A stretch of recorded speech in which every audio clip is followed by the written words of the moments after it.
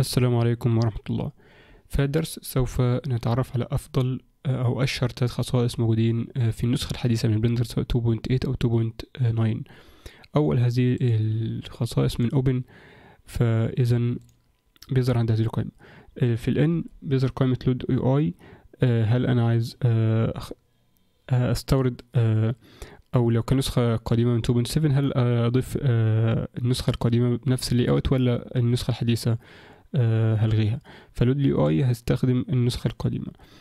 ثانيا عندي هنا طبعا فلتر. ممكن أختار ال images وكل فلتر. أنا مختار ممكن أختار فقط ال blend files وهكذا. ثانيا عندي هنا على حسب بيظهر الملفات على حسب أي شكل. ده كده كان أولا. ثانيا أنا عندي وليكن في ال timeline أو في ال outliner هكذا. بلغي بال up و down بروح لأي object بال right left click و right click بعمل expand ده كده كان ثانيا. طبعا أنا أتخيل إن عندي كده عدة كاميرات ده الجزء التالت.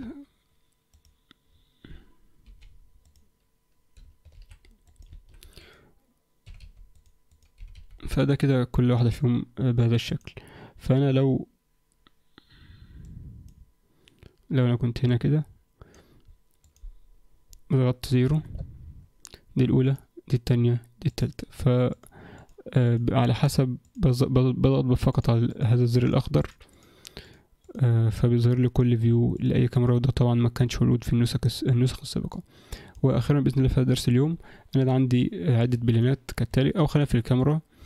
فأنا عايز أعيد ال name. في control F 2 batch rename.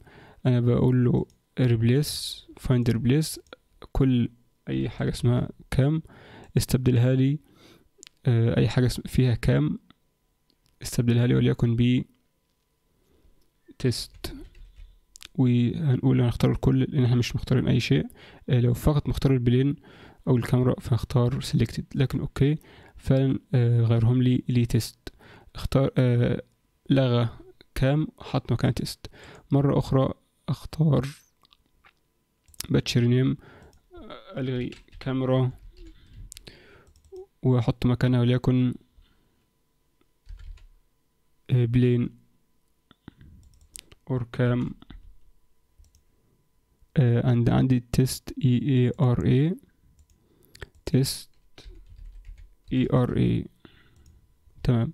أصبح عندي كام واحد كام اتنين كام تلاتة ده كده كان درس اليوم. أتمنى يكون هذا درس تفيده القاء في درس قادم.